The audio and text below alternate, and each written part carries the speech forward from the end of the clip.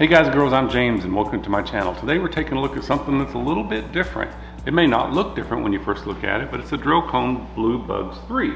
Been around a long time. It first came out, I think, from MJX a few years back. The DROCON has repackaged it and rebranded it under their Blue Bugs 3, which is really a cool looking drone. I've seen the price vary much over the years, all the way from 120 down to under what I paid for less than $50 on Amazon. I paid this price for it. Um, the thing about this drone that makes it so unique is that it's under $50 and it has brushless motors. So if you say, James, if it has brushless motors and it's under $50, wouldn't that make it the perfect beginner drone? Absolutely not, because the, let me explain the way this thing flies. It flies like an FPV drone. Uh, and what I mean by that, you know, they fly FPVs with the goggles and then they have their controller in their hands. But your normal camera drone has two gimbals that, that work on four axes. Well, this left one, as it goes up and down, changes the speed of the rotors, which makes the drone go up and down. Well, if you get in a panic situation and you're flying it, you just let go and it'll stop and hover.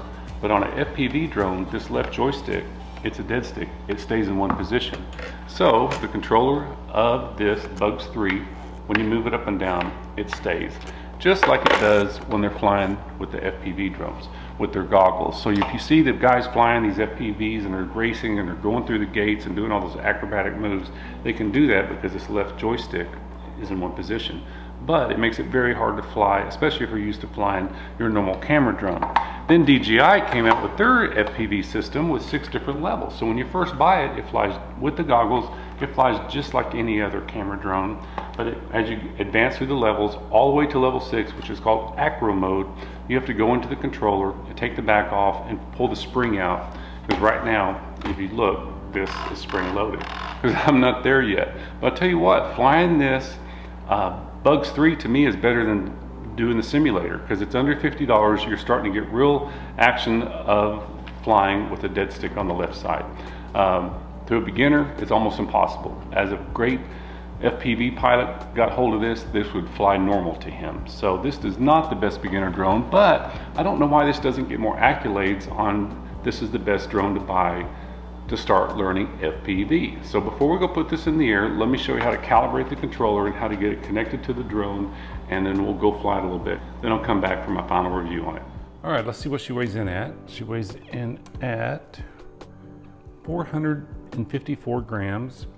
If you add the Hero 4 with the mount, that brings it up to 541 grams, which is pretty close to the equivalent as one adult beverage. So the drone comes with an extra set of props that you can replace, and how you do that, it comes with a prop removal tool, and that fits into the motor and locks into it, so you can turn these to get them off. Like I should change these because this has a chip in it from when I crashed it last time. so it comes with a prop removal tool. It comes with a handy dandy screwdriver and that is to put on the prop guards that it comes with and the screws are inside and the legs. It does not come with the legs installed. You got to put those on and screw them in here. And you can apply it without the legs and you can just fly it by landing it onto these mounts on, that are mounted on the bottom of each arm under the motors if you didn't want to fly with it. I just think it looks cooler and you can't fly it with the camera without the legs. And like I said, this takes a GoPro Hero 4. Uh, the 8 would not fit. Even with this one, I had to put a little bit of foam into it to get it to uh, fit in there. And when you mount it, it slides in, then there's a little lock right here. And on the battery, so the white goes into the charger that it comes with that I didn't mention. Uh, so that's a nice little charger. It has a green and black, red light, and of course, it, when it's done charging, it lets you know. So the so the battery is very powerful. It's an 1800 milliwatt amp battery. It's made in China. That's why the writing's upside down. No, I'm just joking. it's uh, very powerful. It takes about an hour and a half to charge. You get 15, 20 minutes flight time. This plugs into the charger and then this plugs into the back of the drone once you got it in there and it does have a plus and minus sign as you plug it in. Like I said, there's no on and off switch. So when you plug it in, it turns it on. Well, let me show you how to get this thing calibrated. So what you want to do is always hold down on the, this is the, this powers on the motors and turns them off. So press down, hold up, press down on this switch upwards for three seconds. Hear those three beeps. And now I do circle three times, both directions. This calibrates your remote. Okay, and then hold back up on it for another three seconds. All right, now turn it off. or you, you might be able to leave it on. Plug in your drone. There is no on and off switch, so as soon as you plug this in, the drone comes on. So that calibrated it, but with the battery turned on, you, might, you can even turn it on and turn it off, but push down on this. You see the lights, how they're blinking in the front? That means it's not connected. So press down on this, hold up, and both these go down into the right until they're solid. Once they're solid, uh, you're, you're ready to take off. And how you take off is not with this, then make sure this is all the way down. it won't start. See, now they'll start. And if you try to just press it once to kill the, to kill it, it won't kill it. You gotta hold all the way down. So if it's flying through the air and you want, you're flying away and you're afraid, you press this, it's gonna fall out of the sky. Also, this is a very bright light on the front of it. Uh, one thing that would be really neat is to take this camera off and to mount this DJI Air 1 unit right here. That'd be really cool. It would fit in there perfectly and it also has this little compartment where you could work on it and mount it in there and fly it with the goggles. And that'll be, be a great video for another time. So the controller is not rechargeable. It takes batteries in the back. So let's go put her up in the air.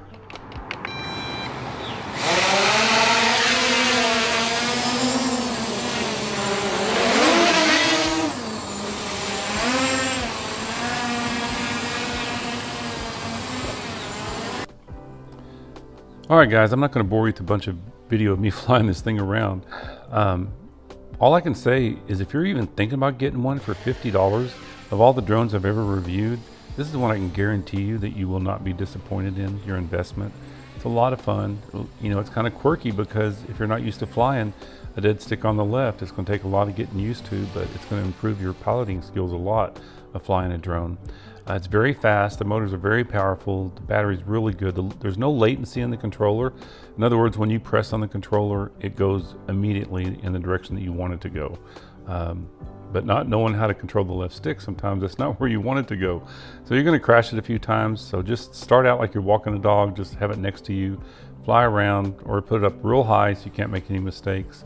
Um, but you get put you put it up real high and it's blue. There's the lights are not different colors, so you can kind of lose the orientation of if it's front or back. So keep it close to you. I think it goes 300 meters. That's about as far as I threw it out also. Again, really impressed. Uh, a little bit windy this day. You wouldn't even know there was any wind out there. You see the lights in the front, how they're white, so that does tell you that's the front of the drone, and of course the camera's in the front. I'll show you a little bit of video from the cameras, but you know, it, that has nothing to do with the drone. That just shows the uh, the quality of the video from the GoPro. So that comes down to what you put on the drone of what you're flying. But it does show that you can get some really cool footage of it if you just want to get some video footage of something and you don't want to spend a bunch of money and you've got a good GoPro, then you can buy this and put it up in the air. So here comes my review on it. Uh, enjoy a little bit more flying. And thanks so much for watching. Don't forget to like and subscribe. Um, got a lot of different videos coming out on different types of drones, and this is one of them. It, I found this one really, really interesting for $50 and it was a lot of fun. So I'll see you in the next one.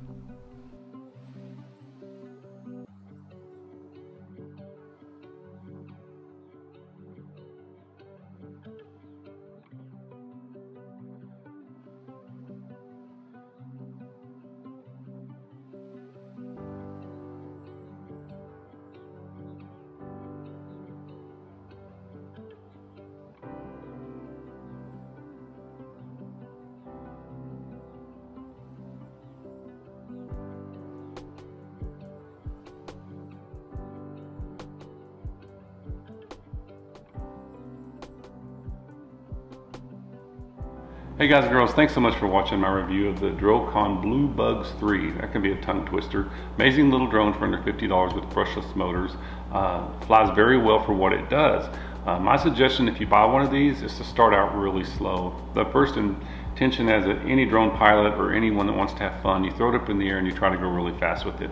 But if you kind of walk around like I was doing at slow walking speed and try to get it to where you start getting the orientation of it in your hands, then it becomes a lot more fun. You're still going to crash it a lot, but it's a lot better to crash a $50 drone than a $1,500 drone.